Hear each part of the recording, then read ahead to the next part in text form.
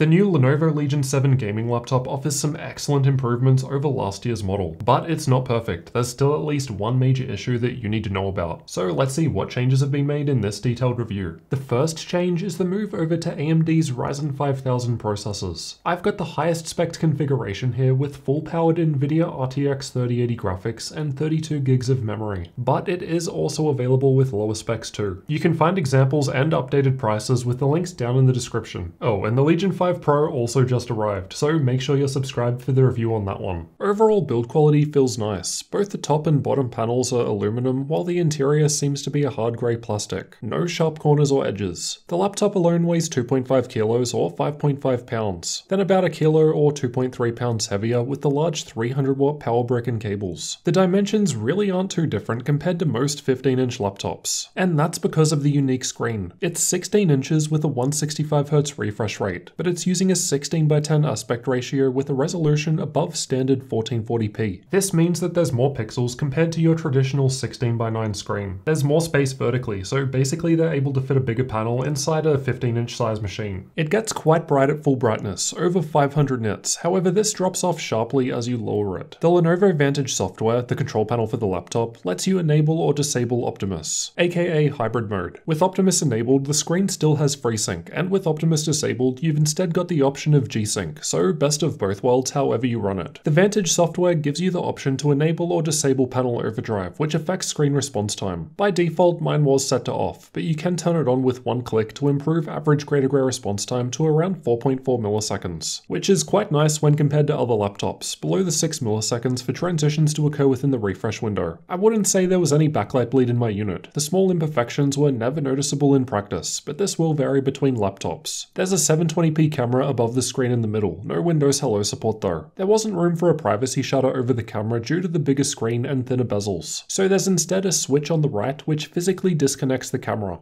This is what the camera and microphone look and sound like, and here's what it sounds like to type on the keyboard. The Legion 7 is also the first laptop to offer Tobii Horizon support. Basically, it's able to track your head movement with the camera. And in supported games like Assassin's Creed Valhalla, actions like trying to look around the corner will actually affect the game. You can of course turn it off if you prefer. I have actually been playing a lot of Assassin's Creed lately, and I have noticed that while sneaking up on enemies, I do do the try to look around corner with my head thing without even realizing, so there is some merit to this idea. The keyboard has per key RGB lighting, and all keys and secondary functions are illuminated. It's got three levels of brightness, which can be adjusted with function and the up and down arrows. I liked typing on it, it feels similar to others from Lenovo, so a nice subtle clicky feel.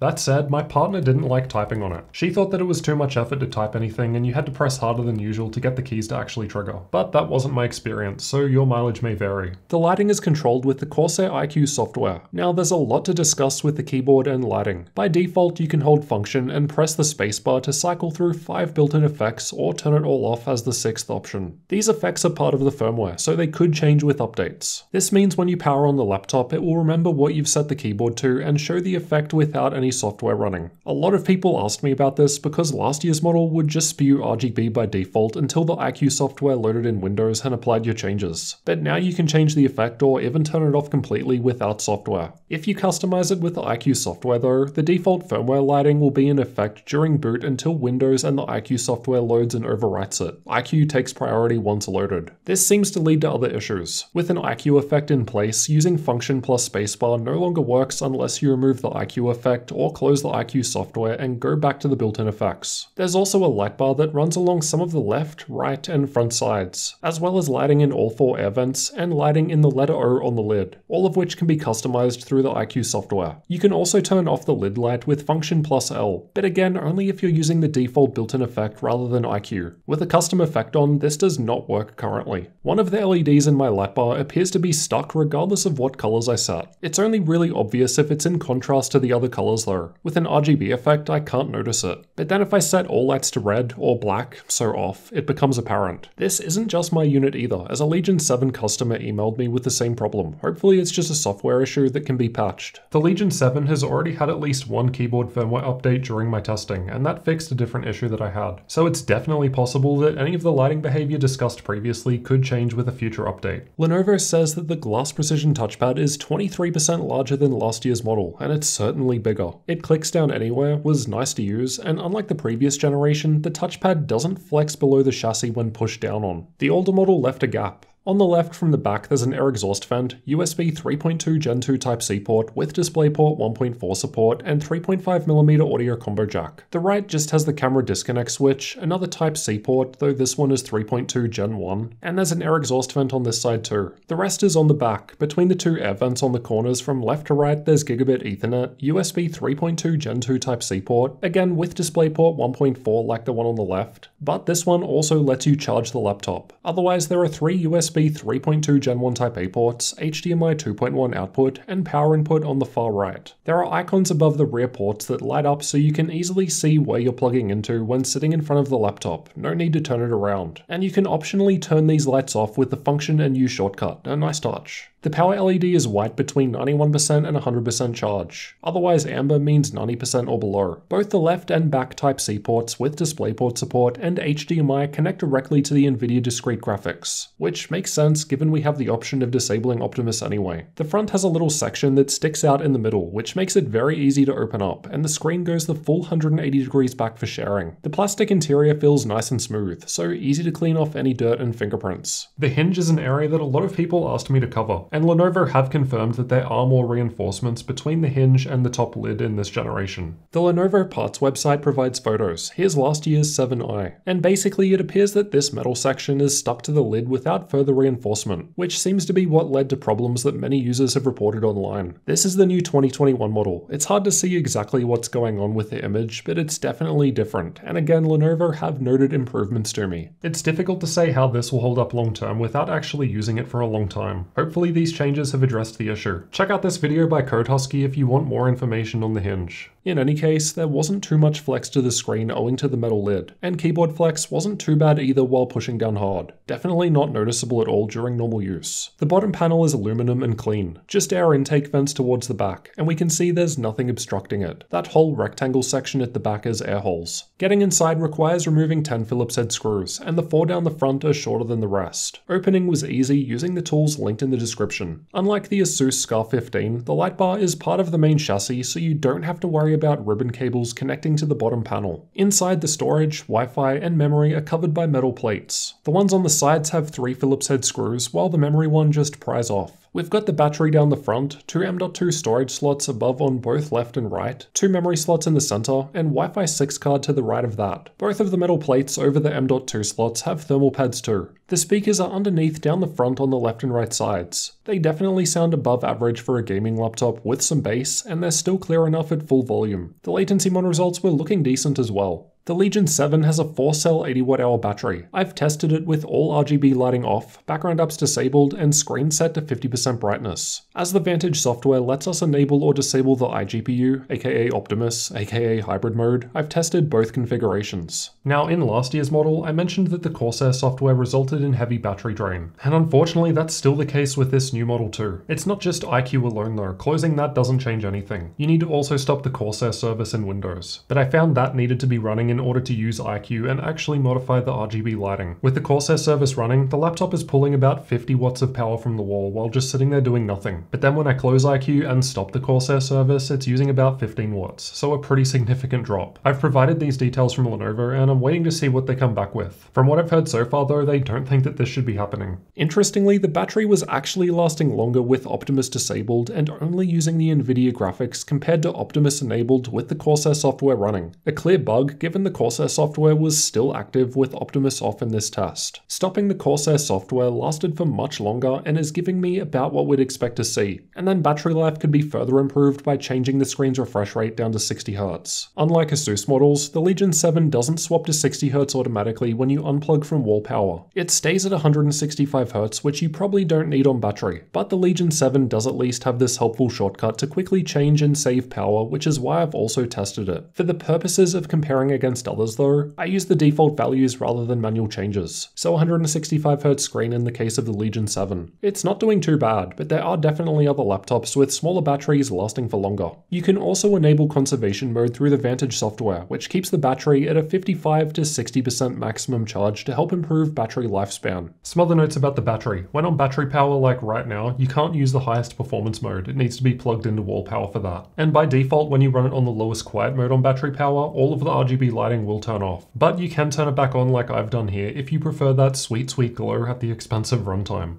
It's also got flip to boot. This wasn't on by default, but it makes the laptop power on when you open the lid. Let's check out thermals next. Lenovo have told me that all Ryzen-based Legion 7s globally will ship using vapor chamber coolers. From what I heard with last generation, that was only the case with higher spec configurations. Lenovo have also confirmed that liquid metal is not used with the Legion 7, despite the original CES announcement in January mentioning this. I asked why they're not using liquid metal, as other companies like Asus are doing that on their Ryzen laptops. Basically, the reason were a combination of it not holding up very well long term, leading to diminishing returns over time, and it being easier for most customers to replace standard paste. If they were doing liquid metal, it would be automated at a factory, so any on-site support solutions that require removing the vapor chamber would instead result in the laptop needing to get sent to a service center to have the liquid metal reapplied, and that takes more time and results in a poor customer experience compared to an on-the-spot fix. They also noted the entire vapor chamber and fans are one whole assembly, which results in direct airflow with far less leakage compared to other laptops that have gaps between the heatsinks and the fans. As you can see, pretty much everything is covered by the cooler, including VRM, and some air is brought in through the keyboard area. There appear to be some vents above it. The Vantage software lets us change between different performance profiles, which from lowest to highest to quiet, balance, and performance. Balance mode also has a checkbox we can select to automatically tune the system, so I've tested that too. You can quickly swap performance modes with the function and Q shortcut, and the color of the power button changes to show you the current mode. A simple feature I wish all laptops had. Unfortunately, there's still no way of adjusting fan speed. Lenovo told me that they don't want to expose the end user to things like specific RPM controls, as that might be confusing if you don't know what you're doing. However, I really want to see the shortcut to simply set the fans to max speed come back. That was a thing last generation, and I can't really see the argument to not having that when you just press it if you want it. If you don't want max fans, then don't press the shortcut. I don't know, better to have it than not in my opinion. But let me know what you think. Maybe they'll add it back in. Anyway, let's get into those thermal results. The idle results down the bottom were cooler compared to most others. I've run stress tests with both the CPU and GPU loaded up to represent a worst case, as well as playing an actual game. The GPU, represented by the green bars, was never hitting thermal throttling, despite being a full-powered laptop 3080. The CPU wasn't doing too bad either. Most Ryzen laptops seem to cap out at around 95 degrees Celsius. And although we're close to that in balance and performance modes, using the cooling pad, linked below in the description, was able to help out. These are the clock speeds for the same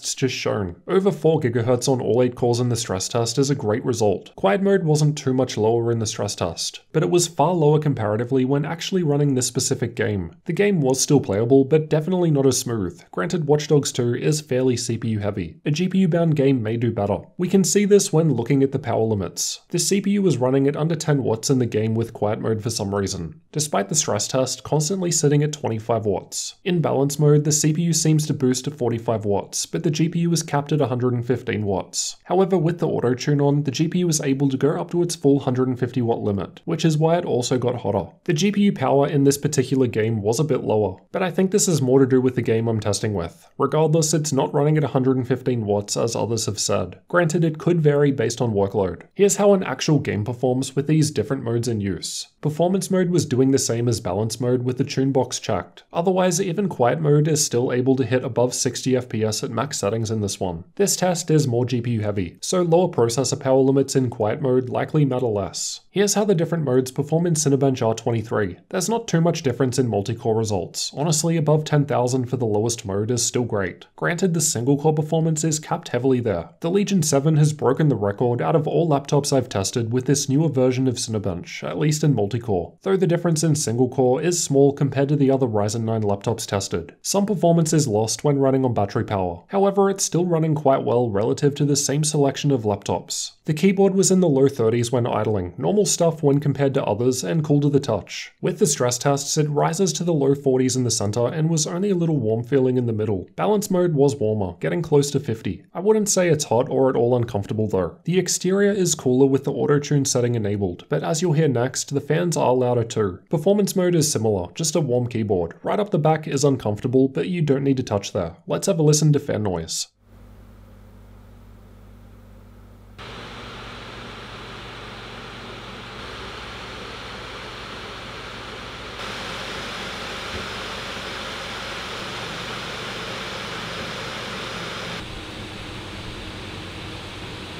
The fan was still audible when idling, though it's quiet and it's louder with the stress test running as you'd expect. Balance mode wasn't much different, that is until you enable the auto tune, where it's basically maxed out and the same as the higher performance mode. The total sound level actually lowers with the cooling pad. Because we can't change the fan speed, the system is now cooler, so the fans slow down as a result. Now let's find out how well this top-end configuration of Lenovo Legion 7 gaming laptop performs in games and compares against other laptops. I've run these tests at 1080p as that's just what I've got data for for the purposes of comparing. I've tested Battlefield 5 in campaign mode at ultra settings, and the Legion 7 is highlighted in red. The results are very impressive. This is the second highest score I've ever seen from any gaming laptop in this game, at least in terms of average FPS, though the 1% low was still definitely up there too. Keep in mind this is basically the top end spec of the Legion 7, but still the results are promising compared to other 3080 laptops I've tested, so I'd expect the lead to translate down to the 3070 or 3060 models too when compared to others with those GPUs. Shadow of the Tomb Raider was tested with the game's benchmark tool with the highest setting preset, and the Legion 7 moves down just one position here and is only a few frames behind a larger 17-inch laptop with the same CPU and GPU. Regardless, it is still one of the best results I've ever recorded from any gaming laptop thanks to the combination of high-end specs, high power limits, and the ability to disable Optimus. Far Cry 5 was also tested with the game's benchmark tool at max settings. The Legion 7 moves down a bit further here. This test generally depends more on the processor. However, at the same time, it looks like it might also favor Intel systems given those take up the top 5 spots. In any case, the Legion 7 is only just slightly behind the same spec but larger Prometheus 17. Setting the laptop to 1080p in Windows adds black bars above and below, but with pretty much all games running at 1080p, it just stretches the game out a bit to fill the whole screen. It depends on the game and if it supports setting aspect ratio. When stretched out, I could notice it, but it depends on the game. You could also run regular 1440p with black bars too. I've also tested the Legion 7 in 13 different games like Cyberpunk and Red Dead Redemption 2 at the native 16x10 resolutions. I've done 1920x1200 and 2560x1600, So check out this video if you want to get an idea of how well the Legion 7 actually performs with its native resolution. Now for the benchmarking tools. I've tested Heaven, Valley, and Superposition from Unigine, as well as Firestrike,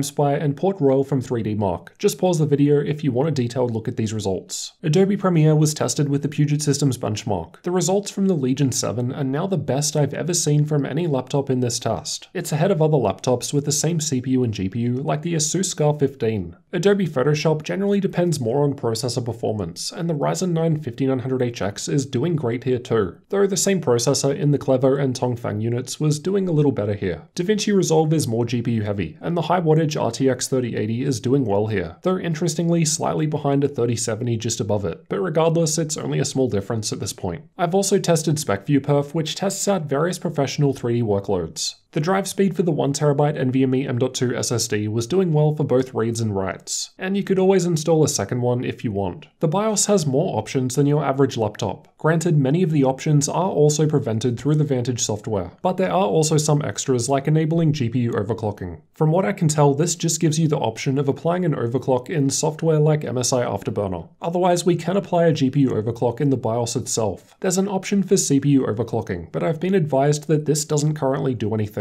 It would be nice if we got power limit control with AMD's HX series processors, but that's pure speculation on my part. I booted an Ubuntu 20 Live CD to test Linux support. Out of the box, Wi-Fi, keyboard, touchpad, and camera work, but the speakers and screen brightness didn't, so you'd probably need to install some extras or updates. Keyboard RGB lighting can still be adjusted as the base effects are baked into firmware and don't need software. Now let's discuss pricing. This will change over time, so check out the links in the description below if you want to see how much it currently goes for. At the time of making this video, the Legion 7 isn't available in most regions yet. I've only seen pricing data on the Singapore site so far. Given I've got the higher spec Ryzen 9 and RTX 3080 configuration, I would expect this one to be on the more expensive side. But there are also Ryzen 7 and 3060 and 3070 options as well. Alright, so with all of that in mind, let's summarize both the good and the bad things about the Legion 7 and help you decide if it's a laptop worth considering. Overall, I think yeah, the Legion 7 is a pretty great gaming laptop. The changes improve almost every issue with last year's model, such as the touchpad, hinges, and keyboard lighting on boot. The exception is the battery drain, which seems to be a result of the Corsair software, but at least that's an easy fix by disabling it, which resulted in fairly good battery life. Granted, keeping it disabled does mean that you can't customize the RGB, but hey, if you're satisfied with the default firmware effects, maybe that's fine. Normally at this point, I'd say something like, hopefully a future update will fix this problem. But given this problem first appeared with the Legion 7i last year when I first reviewed it over 8 months ago now, I'm not confident in assuming that. But like I said earlier, Lenovo do at least seem to agree that this doesn't seem like normal behavior. So we'll just have to keep an eye on the situation. Unfortunately, this review unit has to get sent back eventually, so unless that's fixed in the near future, it might not be something I can personally test. If I do get any updates, I'll leave an update pinned in the comments below. Performance was otherwise excellent. The processor was doing well compared to other 5900HX laptops I've tested, and the option of disabling Optimus gives us a speed boost in games. The bright 16-inch panel with high refresh rate and decent response time has both FreeSync and G-Sync, which is a nice bonus. Most laptops only have one or the other. Build quality is decent, there's RGB for days with plenty of customization, and there's just not too much else for me to complain about except that battery drain issue. Let me know if you think I should compare the Legion 7 against the Legion 5 Pro down in the comments. And if you're new then make sure you get subscribed for the upcoming full review on the Legion 5 Pro. Come and join us in Discord and get behind the scenes videos by supporting the channel on Patreon. Oh, this is getting awkward running out of hands. And check out this one if you want to see how well the Legion 7 actually performs in different games at its native resolution. So I'll see you over in that one next.